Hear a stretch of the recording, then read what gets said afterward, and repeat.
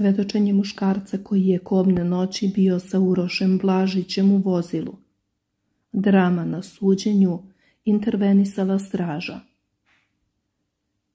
Suđenje Urošu Blažiću za masakru u selima Dubone i Malo Orašje nastavljeno je danas u specijalnom sudu u Beogradu, svedočenjem svedoka u postupku.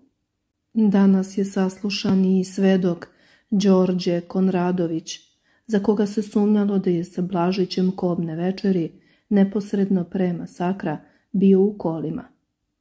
On je rekao da to nije tačno, te da je kobne večeri bio sa suprugom i drugom.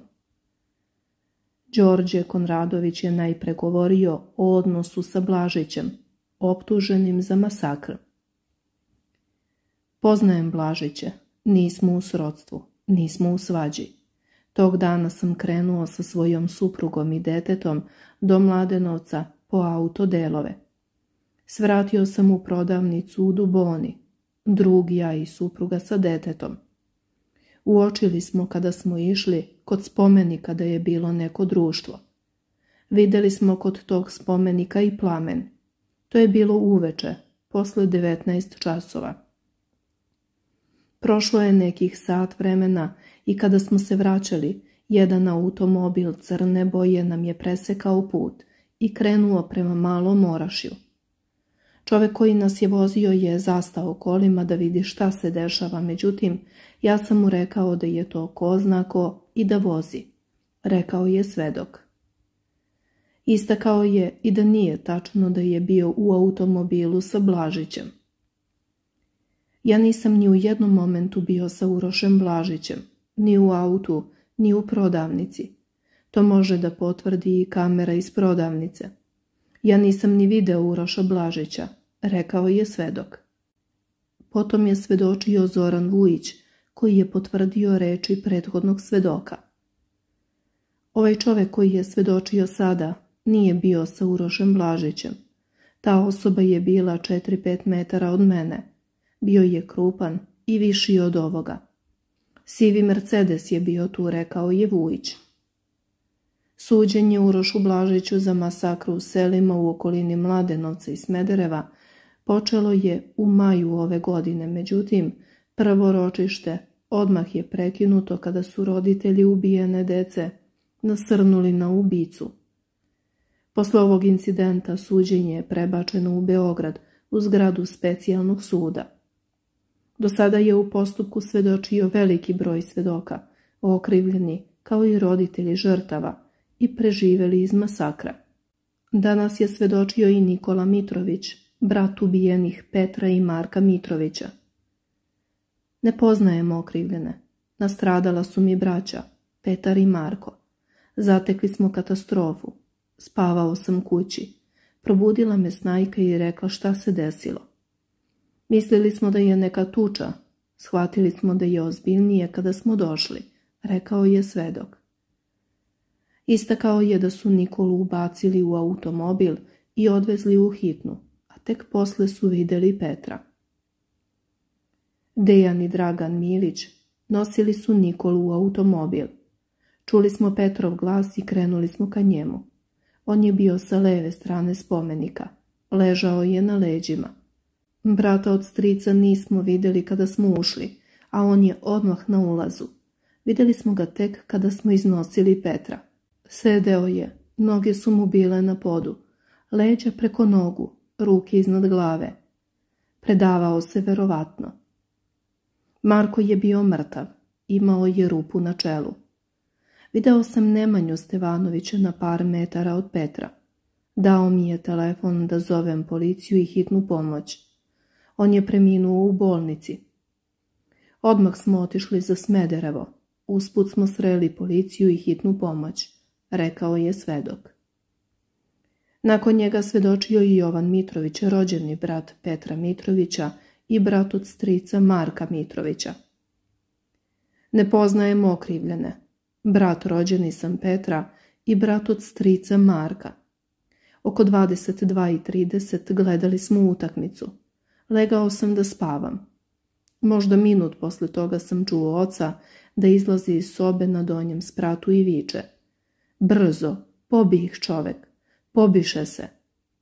Sleteo sam sa sprata. Majka je izašla i vrištala. Rekla je da idemo brzo na ravni gaj. U međuvremenu je žena probudila brata Nikolu. Sišao sam dole i mislio sam da je tuča. Nije mi bilo logično da Petar zove tatu u vezi sa tučom, već sam mislio da bi zvao nas. Ubacili smo motku i lopatu u auto sa namerom da ih branimo. Ispred nas je bio auto sa sva četiri migavca. To su bili otac i stric Nemanji Ilića, rekao je on.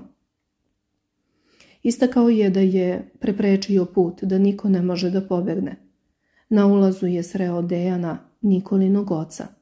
Rekao je, šta, šta je bilo, pobih čovek kao kjerove. Čuo sam Petra da zove, ležao je na leđima pored spomenika, nije mogao da ustane. Prišao sam mu, a posle toga sam krenuo redom. Video sam ih sve. Nisam znao šta me snašlo. Majka i otac su došli. Rekao sam majki da zove hitnu pomoć, a brat i ja smo odlučili da Petra ubacimo u auto, kako bih prešao preko rupe ili ležećeg policajca. Vikao je da ne može da izdrži, da stanemo i da ga izbacimo napolje. U bolnici me zagrlio i rekao da ga ne puštam. Pričao sam mu koliko ga volim i koliko želimo da ostane živ, rekao je. Oštećeni svedok Jovan Mitrović obratio se Blažićima i tada je došlo do incidenta. Potom je krenuo ka boksu u kom se nalaze Blažići, ali ga je sudska straža u tome sprečila i izvela iz sudnice. Svedočio je i Dragan Milić. To su leleci, kukanje. Prvo sam video Marka Mitrovića i bilo mi je jasno da je ubijen dok je sedeo.